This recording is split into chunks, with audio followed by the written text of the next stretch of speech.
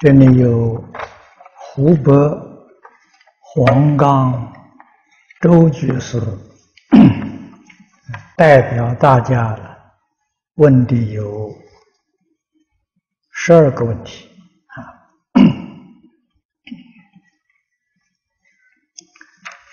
哎，第一个问题，师父教我们孝养父母。更重要的是养父母的心。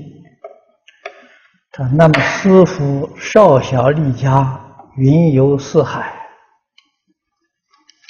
啊，儿行千里母担忧，我们学佛不吃肉，不看报，不玩乐，长辈家人同样担忧，请问？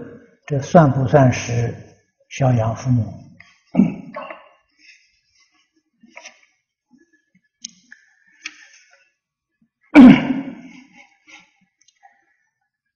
这个我们生在动乱的时代，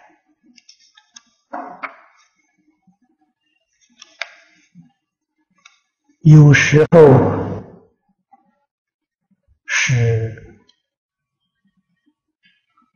亲人没有办法团聚的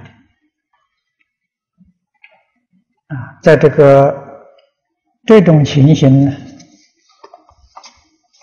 可以说是在我们这一代就非常普遍。抗战期间。我们都是在学的儿童。那个时候，中国跟日本人作战，我们被日本人追着跑，所以在抗战期间，做父母的人跟现在做父母啊，这个心情不一样。我们大概从九岁、十岁。就要被家里父母训练过独立的生活，啊，也就是说，日常生活啊，这个煮饭、烧菜啊、洗衣服这些，通通要学会，啊，什么原因呢？